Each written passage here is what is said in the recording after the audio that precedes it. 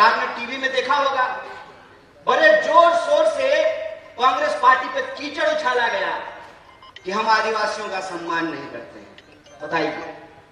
इस देश का इतिहास उठा करके देख लीजिए। पंडित जवाहरलाल नेहरू वो पहले व्यक्ति हैं जिन्होंने आदिवासियों के प्रतिनिधित्व को संविधान सभा में सुनिश्चित किया और यह सुनिश्चित किया कि अंग्रेज़ों ने जिस तरीके से जंगल के कानून बना करके आदिवासियों को उनके जल जंगल ज़मीन से महरूम कर रहे हैं। जंग जंगल ज़मीन पे पहला अधिकार आदिवासियों का होगा, ये पंडित जवाहरलाल नेहरू ने सुनिश्चित किया। आप इतिहास उठा करके देख लीजिए। और मैं प्रधानमंत्री की तरह इतिहास में फेल नहीं हूँ। पूरा नंबर आया है हमको इतिहास में। पूरा नंबर आया है।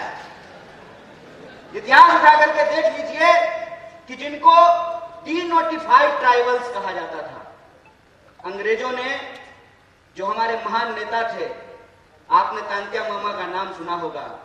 आपने जो है, धरती आबा बिरसा मुंडा का नाम सुना होगा।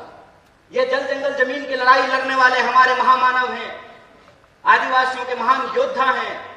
और इनकी लड़ाई में मुक्ति का मार्ग था, इनकी लड़ाई में आज़ादी का मार्ग था।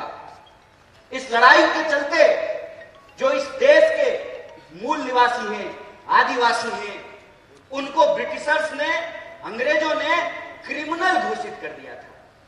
आपको इतिहास जानना चाहिए कि सबसे पहले पंडित जवाहरलाल नेहरू ने उसको डीनोटिफाई किया, कहा कि वो क्रिमिनल नहीं है, इस धरती पे उनका पहला हक है, वो पहले नागरिक ने पहले अधिकार